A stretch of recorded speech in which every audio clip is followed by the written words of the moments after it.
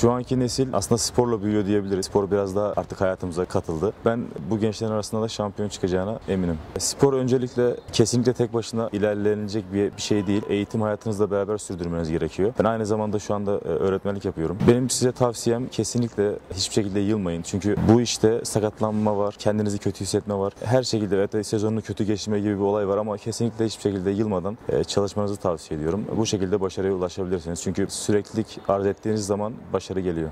Şampiyonlarla kalın, şampiyonların izinde ilerleyin. Şampiyonların izinde.